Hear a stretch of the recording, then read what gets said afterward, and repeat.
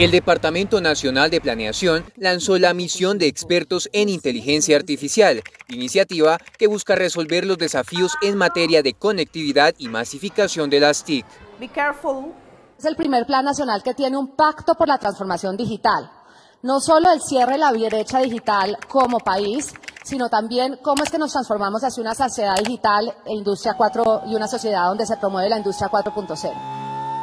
Transformación que aseguran tiene como meta inicial aumentar la capacidad de conectividad en las regiones y capacitar a los ciudadanos.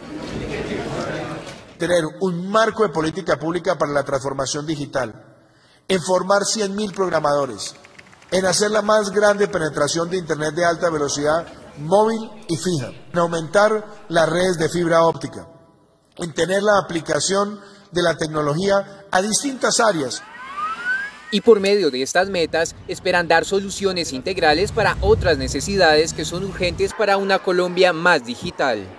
Buscan un efecto en el cierre de brechas, que logren aminorar la desigualdad, que logren también trabajar en la, en adaptación y mitigación frente al cambio climático. Los expertos aseguran que para que el proyecto se cumpla a cabalidad, redoblarán sus esfuerzos en educación.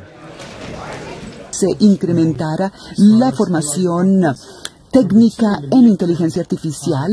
Segundo, cómo impactar la forma como las universidades están enseñándole este tema a una fuerza laboral emergente. Y tercero, es eh, cómo crear el talento que necesitamos para este trabajo. Exacto, eso es lo que quería ver.